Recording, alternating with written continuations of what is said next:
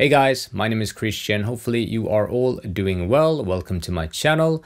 Today I thought that I'd share a comparison I did a couple of weeks ago and this one is uh, quite special. I had three original U47s here in the studio and you know there's so much history so many urban legends surrounding the U47 and the different specs that you can find. So it's very nice and very interesting to be able to compare them to see how it actually is. So the first U47 is a Telefunken badged Neumann U47. You have a K47 capsule, VF14 tube and the BV08 transformer. And the second one is a very rare large badge U47 and it has an M7 capsule, VF14 tube, but a different transformer, a larger one. Some people claim that this is the best sounding version of the U47.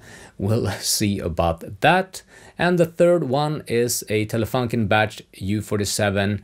It got an M7 capsule, VF14 tube, and the standard BV08 transformer.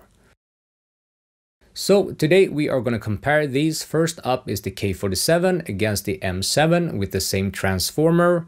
And then we're going to switch out the K47 against the large badge M7 with the uh, with the different transformer. The wild card here is that one of the M7s are reskinned. You know, that's always a hot topic.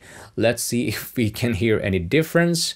And of course, all of these files are available for download. You will find the link in the description.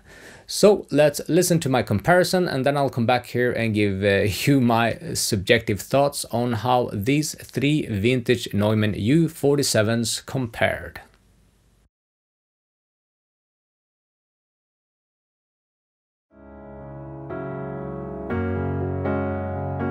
So take a look at me now.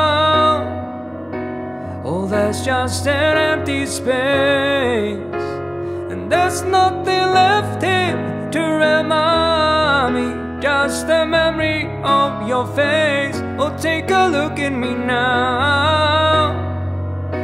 Well, there's just an empty space. And you coming back to me is against the odds and that's what I got to face.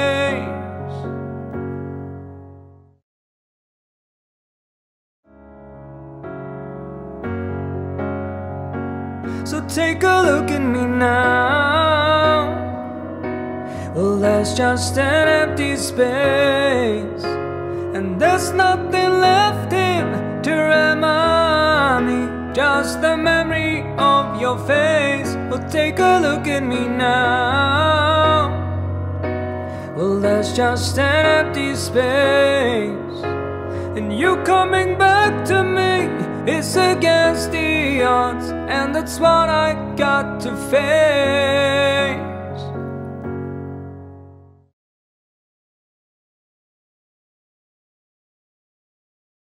So take a look at me now. So take a look at me now. Well, that's just an empty space. Well, that's just an empty space. And there's nothing left here to remind me. And there's nothing left here to remind me. Just the memory of your face. Just the memory of your face. Oh, take a look at me now. Oh, take a look at me now. So take a look at me now. So take a look at me now. Oh, that's just an empty space. Oh, that's just an empty space. And there's nothing left here to remind me. And there's nothing left here to remind me. Just the memory of your face. Just the memory of your face. Oh, take a look at me now. Oh, take a look at me now. Alright, so that was my comparison and let's start off with the K47 against the M7.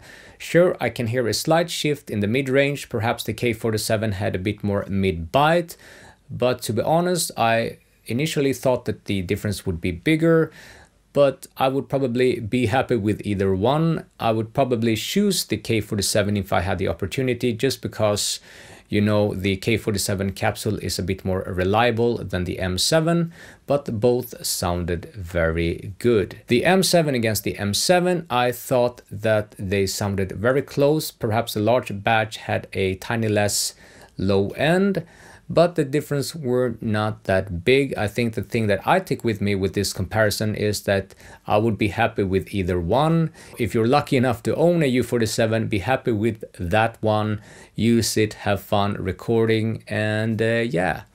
That is really it for today's episode. If you enjoy this kind of content, hit subscribe, give me a thumbs up, and hopefully I'll see you guys around.